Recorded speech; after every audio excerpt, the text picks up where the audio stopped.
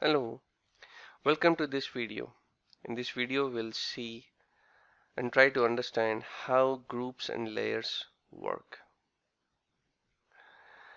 Basically the way we create the map is we have the base map or the map object and we keep on adding layers to it.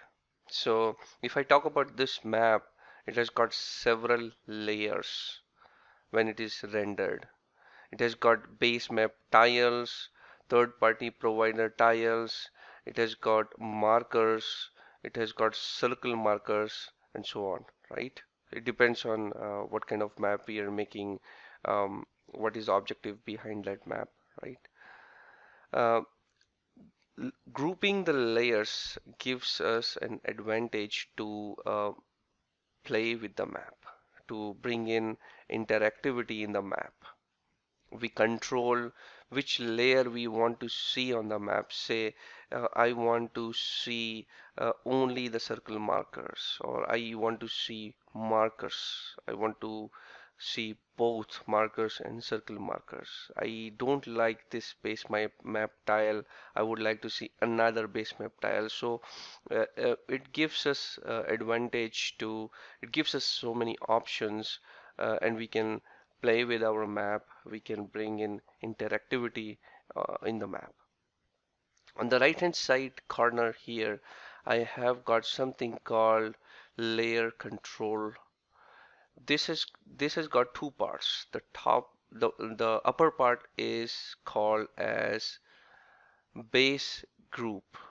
It contains groups uh, which can be selected only one at a time. So we can either have toner light uh, base map tile or uh, toner uh, base map tile or OSM tile. The bottom part has something called overlay groups and these can be uh, checked uh, um, uh, you can you can check more than one one or more than one option here so you can have both markers and circle markers. Or say for example if I only want markers I can select markers.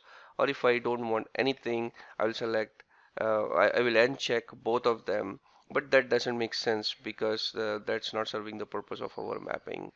So let's see how it works. Let's go back to RStudio and see uh, how the interactivity uh, works in this case and how to group the layers and um, add the layer control to our map. Okay so I am in the RStudio and we'll start with loading the library package. So we'll say library leaflet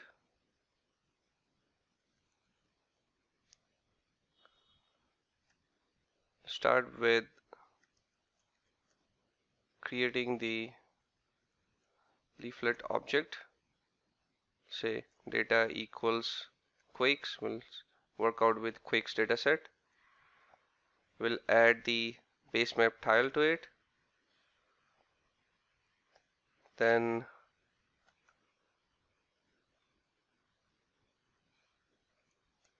we will add some provider tiles to it. We'll add another provider tiles because we want uh, to give uh, user three options of tiles. And I will fill in the details. I'm just uh, putting the skeleton for now. And then uh, remember there were uh, uh, markers and circle markers right? So I will add markers. And then I will also add circle markers there.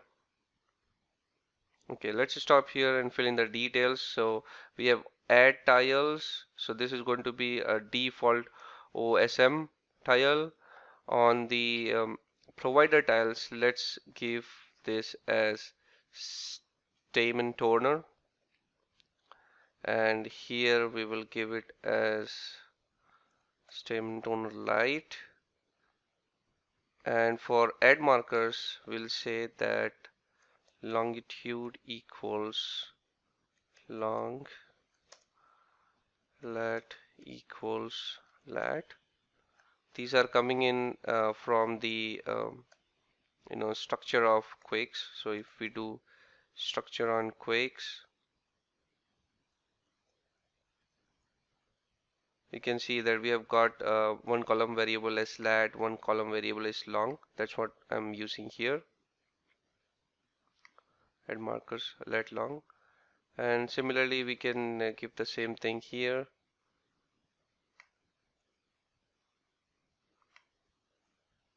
okay now let's talk about the grouping, right? So what we can say is we can name it that this this is uh, one of the layer, this is the second one, this is the third one, this is the fourth one, this is the fifth layer. So we've got five layers on our map. We can say that these this belongs to a group called OSM. I'll say that this belongs to group. This layer belongs to a group called say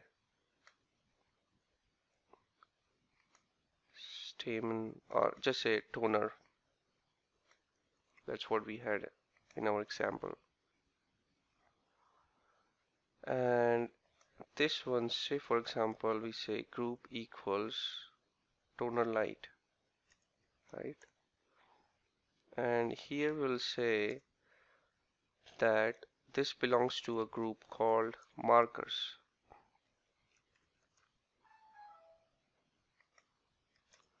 This one here belongs to a group called called circle markers okay?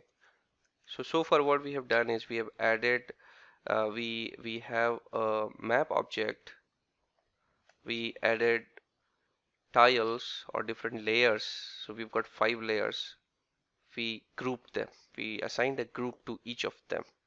Okay?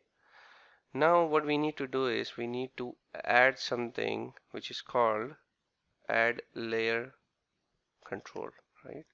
So we'll put a pipe operator here and we'll say add layer control. What what this is this function is where we tell uh, what are our base groups and what are our overlay groups. So we'll say base groups equals C. What all things we want in our base group? We want OSM. So let's copy and paste here. We want OSM. We want toner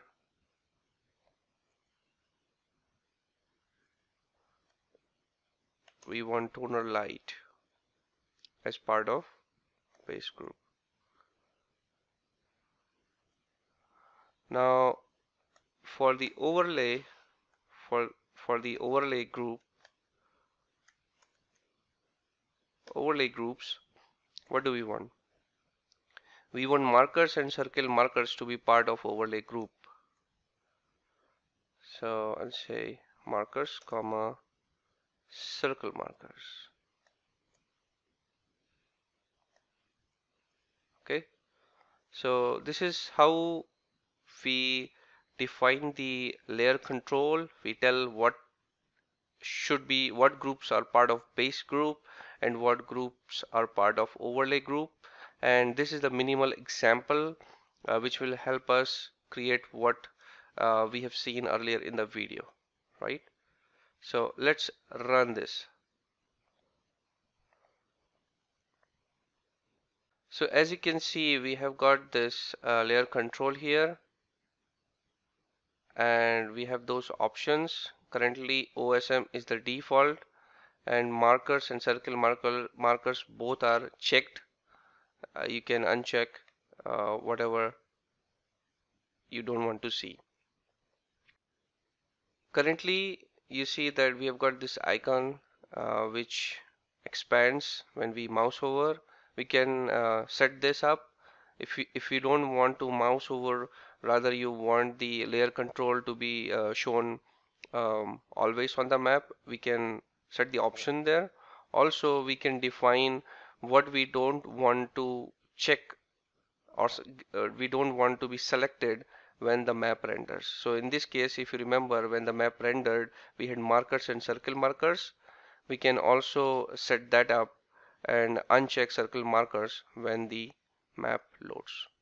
We can use an option here called options equals layers control option collapsed equals fall false so that way the control layer will always appear there you don't need to mouse hover and get it the other thing we could do is add a pipe operator here and say hide group uh, remember that when the map was rendered we saw that both markers and circle markers were selected or checked I don't want uh, the circle markers to appear there. I just want markers to be there when the map renders. So I can say hide group circle markers. And so let's see the difference now.